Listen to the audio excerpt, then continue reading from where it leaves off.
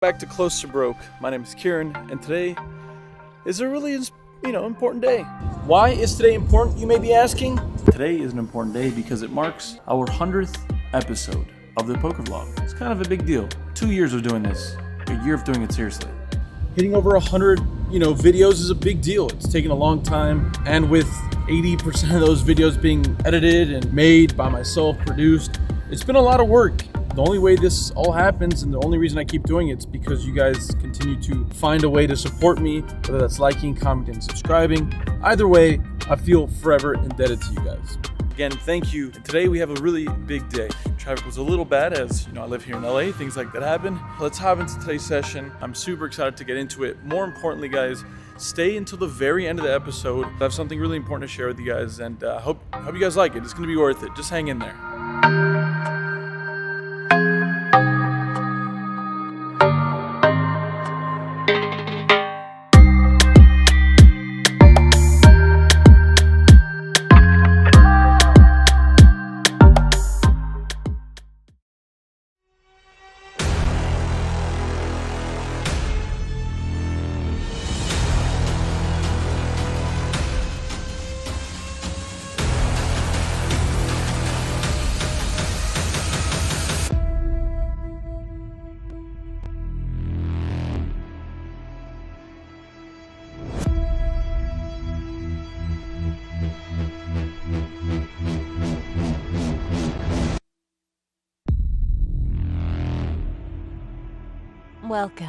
Welcome to the game.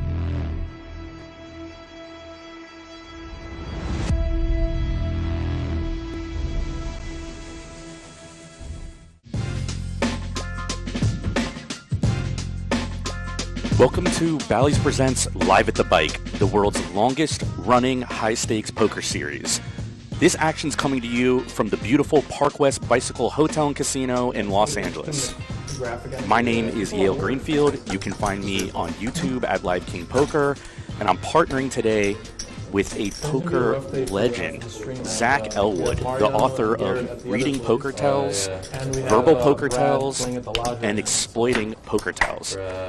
Thanks for joining me today, today Zach. Thanks, Yale. Yeah, thanks for the introduction. Good to be uh, here. Excited to be on the. And just like that, we find ourselves the biggest cash game of my entire life, looking to fend for what is rightfully not ours, but we got to earn it, I guess. Anyways, we're going to hop into this very first hand and setting the precedent, setting the tone early. Dr. H decides to open it up here from the button to $175. We're playing shorthand at this point, I think six or seven handed. We look down at Queen 7 of Diamonds here from the small blind. I'm going to play this aggressively, going to go ahead 3 bet to $550.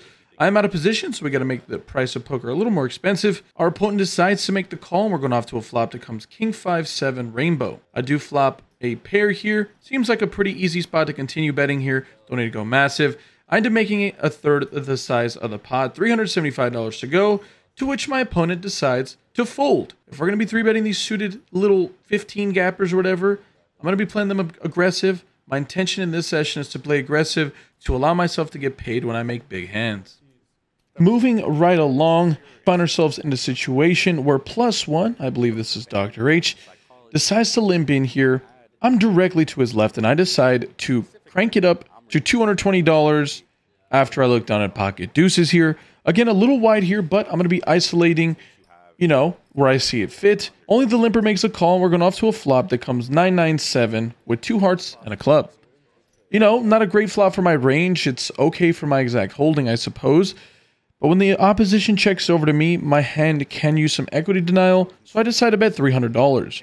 In this instance, I think it makes a little more sense to go smaller here, but either way, it is what I do, and our opponent makes a call. We're going off to a turn card that comes with 7 of clubs.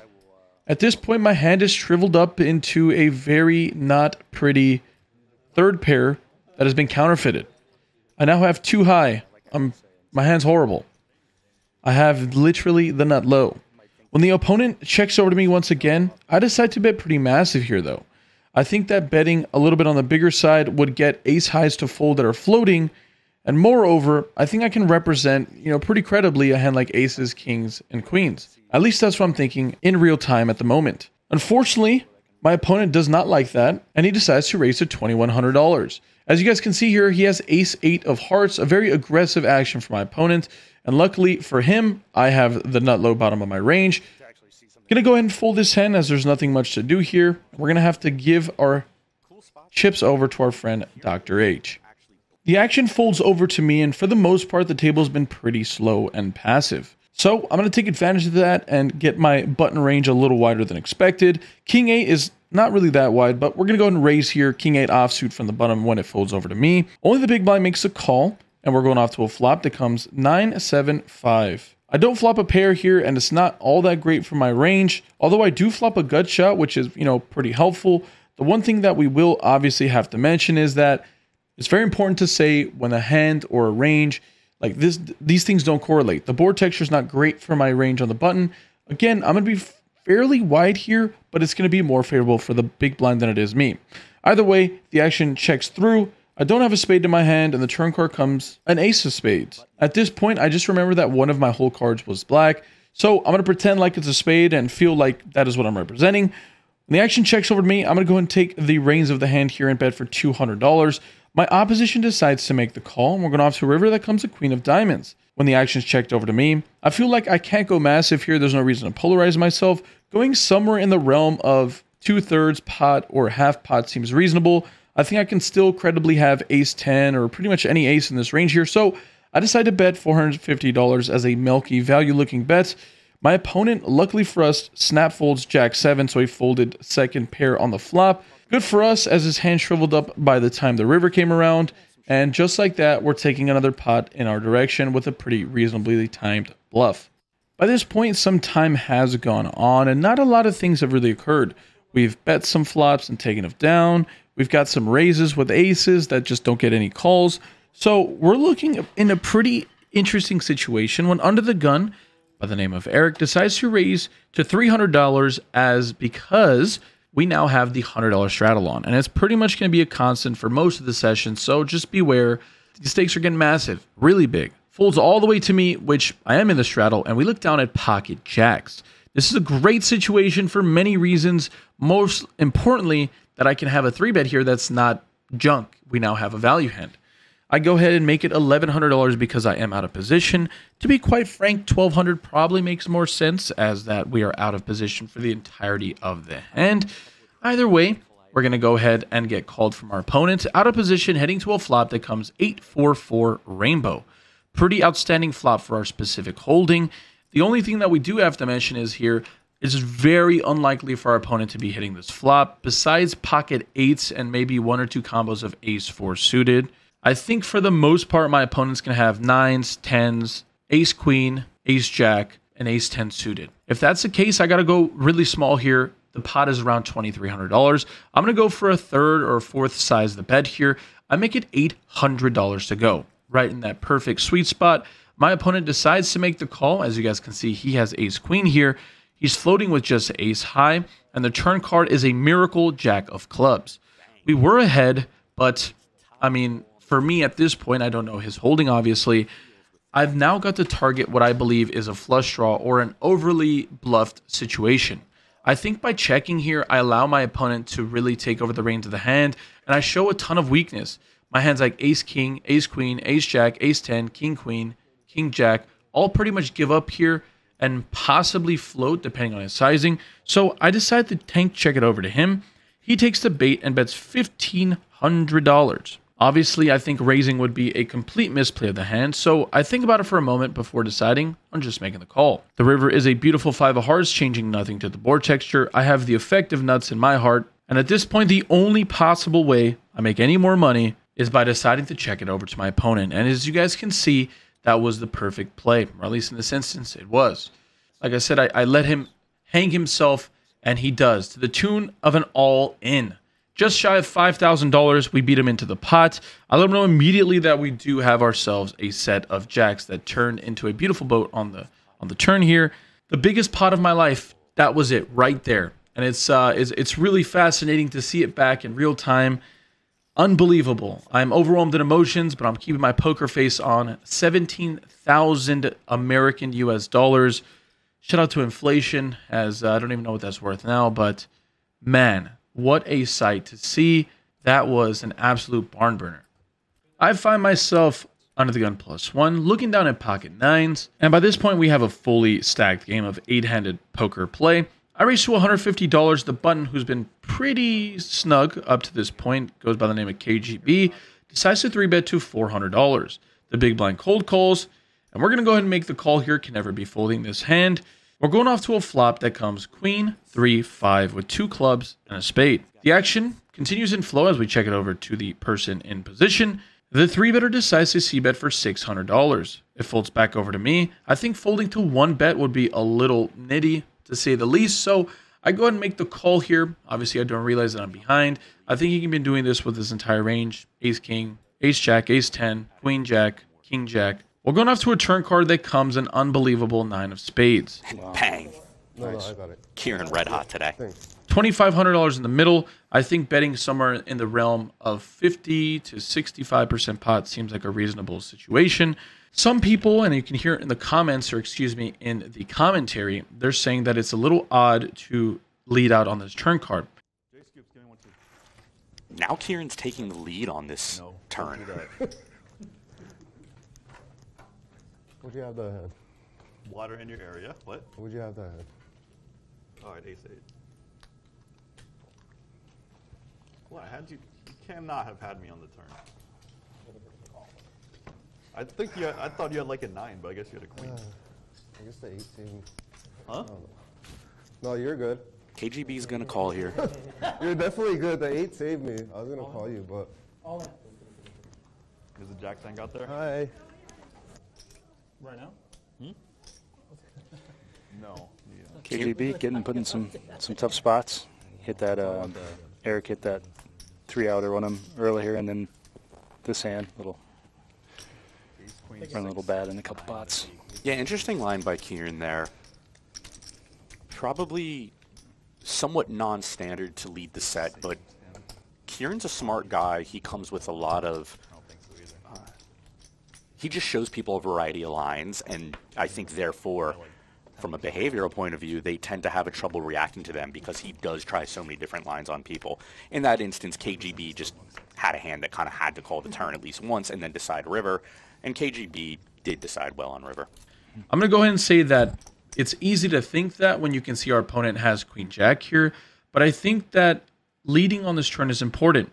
I'm going to have a ton of suited combination holding here that consists of Jack 10 spades, Jack 10 of clubs, King Jack of clubs, King 10 of clubs, King Jack of spades.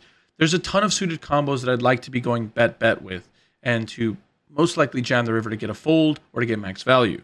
By not betting this turn or not leading this turn, you're, in my opinion, never leading enough with bluff or value. Unfortunate for us, we can get max value, but maybe a small size on the river, like a thousand to two thousand, gets called.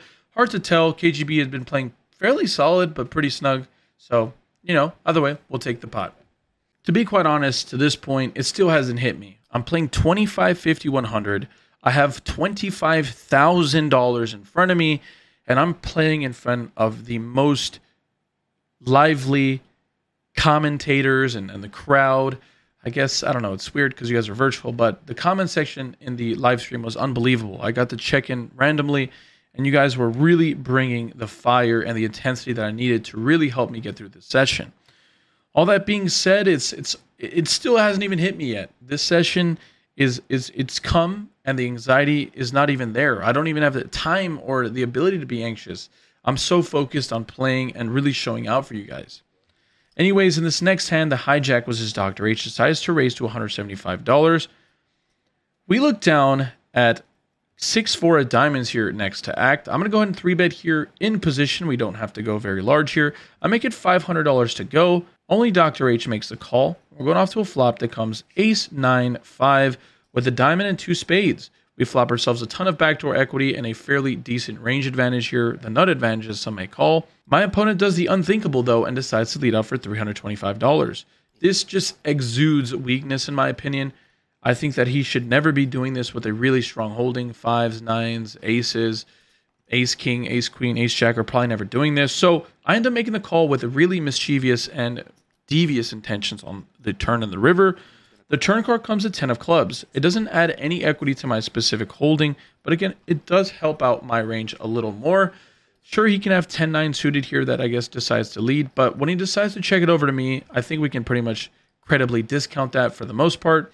I decide to check it back considering my range probably doesn't have a bunch of three barrels. I think I have a bunch of two, you know, bet value hands or two streets of bets of value hands. Anyways, we're going off to a river that comes a seven of diamonds here. That would have been a much better turn card. I probably would have bet that one as we would have picked up an open-ended straight flush draw. Either way, we've come to the river with the worst hand we're ever going to have. Luckily for us, our opponent decides to check it over to me. There's about $1,700 in the middle here. We've got to be betting to get some of that money. You know, we, to me, that's free money. I bet $1,300, and luckily for us, my opponent pretty quickly folds King High. Very interesting lead out from Dr. H with King Queen. I'm happy we were able to sniff that one out and make a really decent bluff with 6 High. It would not be a close to broke vintage session if I didn't have a ton of randomly crazy played hands or some big bluffs. If the 6 High hand wasn't crazy enough for you, maybe this one's more enticing. In this next situation, Jay Scoops is on the button and decides to raise to $400. As you guys know, Jay Scoops is a friend of the vlog, a protagonist, an antagonist, excuse me, that has been involved in the Commerce 2040 80 session we played recently, as well as the Bike Private session. So we have some actually background with him. He decides to raise the button like we mentioned. I'm in the straddle with Ace Jack offsuit. This plays better as a three bet, but I think considering how crazy he can get post flop, I don't mind just playing this as a call sometimes. So I end up doing it just that. And we're going off to a flop that comes seven deuce six with two hearts. I decide to check it over to him. He makes a C bet for 500 bucks, pretty large here. I'm going to go ahead and make the call here with our float. We have a backdoor and a flush draw and two overs. Never going to be folding this flop. The turn card comes as six of hearts not bringing in that front door flush, obviously, and giving us the opportunity to draw out to our nut flush. I decide to check it over to him, and he decides to double barrel for 1,400 buckaroonies. That's a pretty big sizing here, and I'm going in between just calling and raising. What are the merits of a raise here? I think if I raise, I can definitely get hands like eights, nines, tens, and sometimes jacks to fold. And more importantly, hands like ace king and ace queen that are just double barreling here can fold as well. If that's the case, I'm going to go ahead and play this aggressively. And if I do happen to make our flush on the river, it's not very likely that I can get called on the river unless my my opponent has specifically the king of hearts. Either way, we're going off to a really aggressive play from ourselves, raising it up to $3,600. Jay Scoops pretty quickly makes a fold. As you guys can see, he had a pretty bad hand. He had ace four spades. Very interesting double barrel by him, but I'm pretty happy with the way we played that hand there obviously, because I have a, a fairly reasonable experience and play time with this opponent, I'm able to pull off some kind of interesting moves like this. Either way, going to be taking our chips here and raking in another big pot. Probably a helpful image to. That's a good name. Yeah, I'm looking forward, and I'm looking forward to look. He's the big winner so far in the game, and we've seen him run it a couple of times. Although he's run it when he's ahead, so he's turned the best hand into a bluff a couple of times, and I'll be interested to see how he uses that image Here's uh, he's going your- forward. He's got your favorite hand. Though maybe yours is, is your favorite offsuit. I. No, that's Live King's favorite hand right there. You're 100% right. At this point in the session, uh, something interesting happens where the small blind, who's Dr. H, decides to raise to $225. Very, very interesting because the straddle is on. So this is like a 2.25x, which has not been what Dr. H has been doing so far. Anyways, I look down at Ace King of Hearts directly to his left. Not sure what to make up of this raise sizing, and on top of that, the straddle being super aggressive pre-flop. He's been three betting me a ton. I think I should use this as a back raise option. So I end up deciding against my better judgment and just going with the flat call. This does invite him to make the call with that amazing price he's getting. So we're going three ways off to a flop that comes King King 7 Rainbow. Absolutely picture perfect. You could not have made it any better. This is the epitome of how we've been running today. Dr. H decides to lead out here from the small blind for 275 bucks. I make the call, straddle folds. We're going off to a turn card that comes with five of spades. Now at this point, there's about a $1,400 pot, and the opposition decides to check it over to me. I've got to start betting for value here, but if I bet anything too big, I feel like it's most likely that my opponent's going to fold. So I decide to bet $200, going one seventh the size of the pot. Dr. H thinks it's pretty comical and decides to make the call. We're going off to a river card that comes a jack of clubs. Slightly less hands that I can beat here, you know, like 1% of hands. Jacks as well as king jack improve. Either way, I'm not too worried about that when he checks over to me. I'm going to go full size pot here. Don't know a ton of bluffs I'm going to ever have here, but you can't really worry about that. I got to bet when I think my opponent has something strong enough to call. I'm putting him on hands that include 10s, 9s, 8s. And if that's the case, again, just because I have some prior experience with Dr. H, I feel like he has the propensity to make a little bit of a weaker call. Anyways, after a bit of thinking, he decides to make the fold. He folds queen seven, so he did flop himself two pair. I flop trips. Looks like a raise on the flop might have worked a little better in our favor. Either way, we're going to go ahead and chip this pot up. Let's go. Moving right along here, not a whole lot of 4 or 5 betting pre-flop, even though we're playing 600 big blinds effective here. But this next, you know, hand definitely breaks that little bit of a streak. In this hand, we look down at ace queen of diamonds. The straddle is onto 100 bucks, and we're playing over $20,000 effective. I decide to raise here to $300 from the button. And again, as we mentioned previously, Eric has been really prone to 3-betting me at this point, and he has not given up the 3-betting train. He decides to 3-bet to $1,200 from the small blind. The action's now back on me. And considering how strong my hand is and how weak I think my opponent is, I'm honestly 4-betting with the opportunity and the likelihood and the understanding that I'm calling all five bets. It may seem crazy, and again, you can see his hand, but at my time, I cannot. I just have the intention to three bet, four bet, five bet. We're going to get it all in. That's my point if I have to. It seems ridiculous getting 300 or whatever, 150 big blinds in pre flop with ace queen, an unpaired holding, but I just have a read on my opponent and he's just shown the propensity to three bet very light. Either way, I end up making it $3,200 for the 4 bet, and he goes deep into the tank. He's going back and forth, and I think more than anything, I've given him a pretty decent price to just call. I didn't even make it 3x.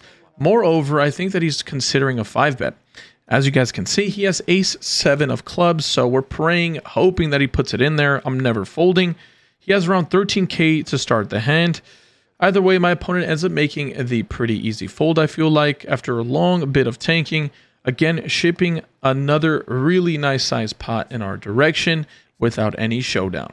It may not seem like it because I've run so well here, but I don't have the best seat in the house. I mean, it's running hot. We can't complain about that, but two people that are very prone to three betting me are three betting me very often, so it kind of handcuffs me a little bit, making me play a little more tighter when I'm first in to raise pots. Either way, this is a good example as I look down from the plus one position at pocket jacks here. I decide to raise it up to $300 with the straddle onto 100. The cutoff, who's a stronger player, Sheen, or Sheen, who's also Indian, I'm probably misspeaking your name there, forgive me. He decides to 3 bet here with King Queen offsuit to $1,100. It folds over to J Scoops in the small blind, and he decides to 4 bet to $4,000 with the action now back on me. I mean, although I think J Scoops is very capable of making some plays here, for this specific sizing of 4x, I'm just never going to make the call. We're playing way too deep. I think it'd be horrific to get all in pre-flop here for a $60,000 pot. I'd rather just play a little more, you know, passive here and a little bit tighter. I end up making a pretty easy fold for, for me, I guess. And it seems like it was the right fold as J Scoops picks up pocket aces there. Yeah, that felt nice to get that out of the way. Uh, yeah, can't complain about that. It seems like we're just dodging bullets, baby. White magic. In this following hand, it folds all the way over to Wayne here, who's the host and the production or the producer of the bike. Shout out to him. He was a you know quite a bit of a good time and a wonderful pleasure to have. It was really nice catching up and understanding his background into StarCraft or what he mentioned, some gaming stuff. Either way, folds to him. He's playing around $1,300 from the small blind. I'm in the straddle. He jams for 1325 Folds to me in the straddle. We look down at pocket eights, never folding. We make the call. He asks if we can run two boards. Seems great to me. First board, we flop a set. And if that's not enough, overkill time as the turn comes the eight of diamonds. Bing. We hit ourselves quads. Outstanding situation. Now, the only thing is I've got rid of all my outs. So we're hoping to pick up another pot here. Going once again to a turn, or excuse me, a second flop. That comes Jack 7. He flops two pair with his Jack 7 and turns a boat. So I guess quads and boats, we're just dealing out these crazy flops here. And that's going to be a chop pot. And everyone loves a chop pot, but I had to put it in there. We flopped quads or turned quads, excuse me. Who can complain about that? That's just literally doesn't paint a better picture than that as to how we've been running in the session. For everyone that's made it to this point of the video, I want to thank you guys all dearly. I'm going to ask you guys to do me a massive favor by clicking the like button down below, making sure to drop a comment on your favorite hand so far, as well as letting me know how you guys are doing today. Again, stay to the very end of the episode, not only for even more ridiculous hands that we're about to go into, moreover, we're doing a really big giveaway as a thank you to everyone that's watched, subscribed, and been super, you know, hanging out with me through this journey. Either way, this very next hand is a very interesting one as we're there's a straddle on, and Dr. H from Under the Gun opens to 325. We're next to act with pocket aces, and considering how many people are behind me to act, I do have to size up a tad bit. Don't have to go as big as 4x, but somewhere in the middle of 3 and 4x seems fine. I make it $1,100 to go with the American Airlines pocket aces. No shout out to American Airlines as uh, they have a pretty crummy loyalty system. Anyways, don't need to go down that tangent. It folds back over to Dr. H, who decides to make the call. We're going off to a flop that comes 654 Rainbow. It is very, very important to learn how to mix checks here on these board textures. I have pocket aces. I'm literally not worried about any turn card really. Um, I'm gonna call even if a seven or a three comes on the turn, I have to call at least one bet, so I can't be worried about that. And the other thing I should mention is that ranges are fairly narrow here. He can have the nut advantage on this board. I'm never going to be three betting with sixes, fives, or fours. Maybe seven, eight suited sometimes from early position, but more than likely he has those hands. So I'd rather check to play some pot control, which I do. Check it back. And we're going off to a turn card that comes of four spades. Kieran checks back pocket aces. Tough board for aces, really.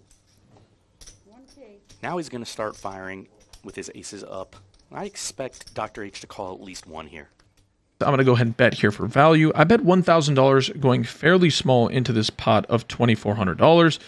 Going less than a half the size of the pot. Even $800 would have probably been better. Our opponent decides to make the call here. We're going off to a river card that comes another four.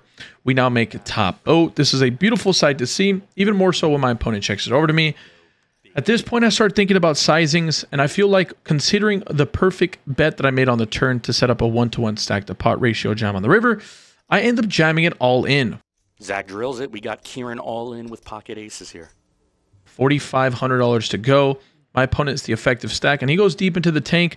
Dr. H has been known to make a pretty reasonable fold in the past, but he's also known to overcall these spots. Either way, by jamming here, I put my opponent in a bind, and moreover, I think that my opponent has a hand like 10s, 9s, 7s, a bunch of random holdings like that.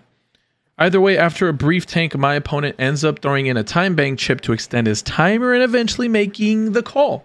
Another massive pot shipped in my direction, nearly a $14,000 pot I've played my first and probably second or third biggest pot of my life tonight, and they've both gone in my favor. That's just the epitome of what it's like playing live poker in LA, I guess. Things just get big fast, and uh, today I was just running well.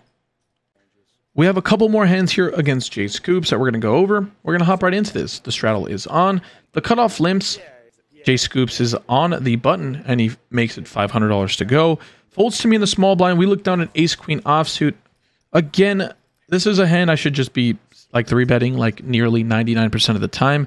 But at this exact juncture, considering how short KGB was, you know, considering how big me and Jay Scoops are playing at the at the time, me and Scoops are the only people with like 30k on the table, and that's something that's important to note. That's it, just is a lot of money. I don't need to pretend like like this is not. It's a ton of money, and considering there's a straddle on, sure, it's only 300 big blinds, like only, but it's just I'd rather play a little cautious here. And moreover, it's just it is nice to have a just flat with a hand as strong as this. Anyways, I make the call and the initial limper folds, and we're going off to a flop that comes King 5-3 Rainbow. I check it over to my opponent in flow. He bets 400. We call. Seems pretty standard. We're going off to a turn card that comes as 7 of spades. Check it over once again. There's a full rainbow out there, and he decides to bet 1,000 into 2K. This is where things get a little tricky here. Besides specifically hands like King Jack, King Queen, ace king, not a whole lot to be worried about. It's hard for a hand like jacks or queens to go for two streets of value with my cold call from the small blind. So his range is honestly very narrow, even though his bet size isn't indicative of a polar range. By betting two streets here, I think he's fairly narrow. So I have to call at least one time to keep him honest, and a second time to keep him even more honest. We're going off to river that comes at 10 of diamonds. I check it over to him, 4,000 in the middle. He decides to put out a third barrel of $2,800. And uh, yeah, just another three, four size pot bet, like some of the neighborhood 65%. I go into the tank before eventually succumbing to the fact that it's just unlikely for my opponent to go three barrels here as a bluff. It's unfortunate because, again, his range is just very narrow at this juncture. I end up making what feels like to me a pretty disciplined fold. Again, it's easy to see when the cards are up. Luckily for us, we made a good fold as he does have king queen here. And uh, yeah, just like that, we're moving on to the very last hand of the session. We've been able to really dodge bullets today. And last but surely not least, we find ourselves once again in the same entanglement against Jay Scoops, who decides to race run of the gun to $400. I find myself once again in the small blind, and I again, once again, just make the call. The thing is, when you're under the gun here, it makes it a little trickier. Ranges are a little tighter. So again, just playing a little more passive here as the you know the session winds down. The Straddler calls as well. We're going off to a flop that comes 5-3-3 Rainbow. J Scoops decides to c bet for $500. We decide to make the call, and the turn card comes the Six of Diamonds. Once again, a full rainbow board texture. I check it over to him. He decides to check it back. So at this point, I know he has Ace King, Ace Jack, or Ace 10. The only time he's ever checking back here is if he has some form of showdown value. We're going off to a river that comes the Queen of Clubs. At this point, I'd, I'd rather polarize myself betting near the size of the pot or as close as I can get to it. I'm not going to have a ton of bluffs here, but I know that, you know, he's going to have ace high. It's very unlikely for him to call up a bet anyways. Even if I bet like three, $500 seems ridiculous. You know, he might be able to fold for that anyways. And I think by polarizing myself, it gives me a chance to make the most money. I bet 1800 into 2300. He thinks about it for a moment and jokes about saying that I could be bluffing with the best hand and makes the fold. And just like that, our miracle session, our amazing run good, our sun run of a session comes to a close. And uh, yeah, I can't, I feel great. And there's no way around that. I don't know how else to put it. I feel great. I feel lucky. And uh, let's throw it over to me a couple days after to see how we feel and uh, see if we've been able to let it all settle in. Thank you guys again for watching. I appreciate you guys very much. Okay, so Welcome back to one of these like little more personal things. As you guys saw from today's episode, it was uh, it was insane. I got slapped by the deck. Take it with a grain of salt. It's easy to pretend like you play really well when you're just running really well. I do feel like I played well. I got some really nice bluffs through. Six high bluff was nice. We just did a really good job of having a good idea of what the vibe was. All that being said, today culminated into the largest win of my poker career, which is a big deal to me. It, um, it's always weird to think about that I was playing like significantly smaller stakes some time back, and now I'm comfortable enough in whatever lineup I'm in for the most part that uh, that I can you know make a little, little little bit of change. Why did I want to sit you guys down in a personal atmosphere? Because this is a big deal. It's a big number. We were into the game for 12,000 and out for. you guys saw the graphic at the end of the video, but I think just shy of 32k. It was like maybe it was like 31 something, 31 775. That's very helpful for the WSOP. Obviously, I'm not playing 25, 50, 100 very often. That was the biggest stakes I've ever played, the biggest win I've ever had, and one of the longest sessions we put on a little while. We played for six or seven hours. Uh, I think the longest session before that was the Hustler stream, and then the bike private game that we played some time back.